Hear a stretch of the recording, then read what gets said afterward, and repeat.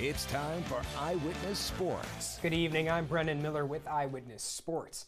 The Mohawk Valley's ties to NASCAR have been in the news a lot lately, whether it be the NASCAR Hall of Famer Jerry Cook being inducted into the Greater Utica Sports Hall of Fame, or current circuit driver Ross Chastain visiting Utica Rome Speedway for the Richie Evans Remembered 61, which you can find highlights from both of those on cnyhomepage.com, by the way. And today, with one of professional auto racing's highlight events just on the horizon, another active racer made the trip to Central New York to visit with some people who've made his career possible. With racing at Watkins Glen set to take place this weekend, NASCAR has all of its superstars in upstate New York. For one driver, though, it goes beyond just racing at the track. He came to visit his sponsor today, which is located right here in Sherrill.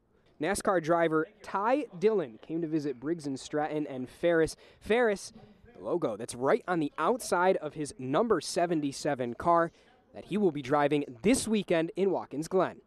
With Ferris being such a big part of our team, this is kind of a second home race for us now. So it's very exciting. I know we're going to have a lot of people there. Uh, it, it, means a lot. It just adds a little bit more to it. In NASCAR, sponsorship and partnership and marketing is is the lifeblood of our sport. It's what helps get our cars to the racetrack.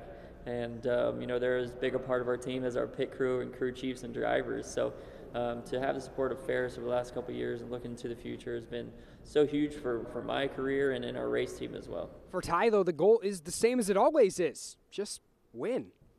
Oh, it's always expected to win, so that's our first goal. We're going to try to win the race, but we want to have a clean race, and, and uh, if we can finish inside the top 15, top 10, that's going to be a great day. Hopefully, we see a lot of Ferris red out there and, and uh, a lot of people cheering us on.